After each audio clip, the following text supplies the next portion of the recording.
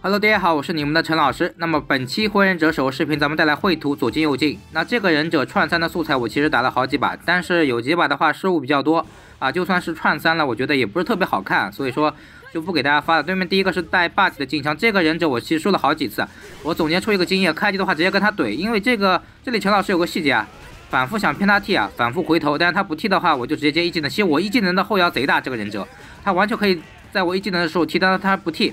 啊，这里的话他替人踢掉了，这里我替人踢掉，然后闪电抓他的后摇，在这个二技能接上，二技能可以抓霸体啊，在一技能一技能的话伤害比较高，然后这里的话我可以其其实直接开大，但我稳为了稳一点，直接 A 一下再直接开大，这里的话他替身三十一秒才好看一下能不能打死他替身好了，这里的话直接熊猫啊，为什么不叫这个二技能呢？怕怼不过他啊，他这个穿过来的话有可能有无敌帧啊。我们都没斗啊，我们都没斗。开局的话呢，我他直接交技能，我直接闪电抓到了。这个闪电抓到我是没想到范围那么大。其实当大家都没斗的时候，可以用直接用通灵去起手，或者用闪电去起手。这样他这样交技能其实是非常不明智的。你又不是那种有些技能，比如说 Y 轴很大，你可以试，但你这个技能的话就没 Y 轴不是很大，所以说直接闭卷或者是通灵起手比较好。那他这里没斗的话，那就游戏结束了呀。好，这里的话直接交大给大家看个而已。他的大招的话，第一段有个小抓取啊。好，基本上是满血。那么对面第三个忍者啊，第三个忍者的话带的是闪电啊，月光积分。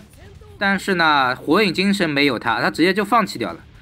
其实他完全可以过来跟我怼闪电，对吧？然后的话眼神骗题，然后再交通灵，说不定能拿到豆，说不定能至少吃掉我这个忍者。但是他对面就就你就这么没有火影精神的吗？绘图左右镜这个忍者其实不是特别强啊，其实并不是特别的强，因为他的技能没什么外轴。这里的话，等一下陈老师先把他血给打残，然后卖个破绽给他，看他好，先交二技能，然后再一技能咱们这个往外拉，给他卖卖个破绽给他啊，看一下他真的放弃了，我刚才不是失误了对不对？你怎么能放弃？真的是放弃，一点火影精神都没有。然后给大家看一下吧，这个绘图左右镜了，他这个忍者可以用平 A 起手，还可以用平 A 去骗 T，他的 E A 其实非常好用啊，给大家看一下怎么用的。等一下我们再试一下，再试一下，哎，像这种。先 A，然后再往外拉。你看，先 A 再往外拉。这不不，这个没弄好啊。这波先发一个表情啊。先 A，然后往外拉。你看，可以用这个 E A 去骗 T，我觉得非常好。哎，就你看，刚才这这个就很成功，对吧？他他这个直接就就一就放弃了，真的是。你被我这个绘图左右镜串三满血串三，你甘心吗？真的是。我们下个视频再见，各位，拜拜。